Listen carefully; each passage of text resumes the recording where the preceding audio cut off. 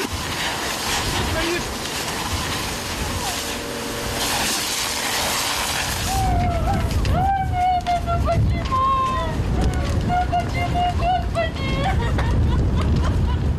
В рассвете загорелся частный дом. Погибших нет, но ремонтировать придется. Когда начался пожар, внутри дома хозяев не было. Тушили огонь спасатели час. Осложнил ситуацию сильный ветер. Огонь задел машину, она стояла рядом с домом. Сгорели и вещи во дворе. Но на соседей пожар не перекинулся. О причинах возгорания МЧС пока не сообщает.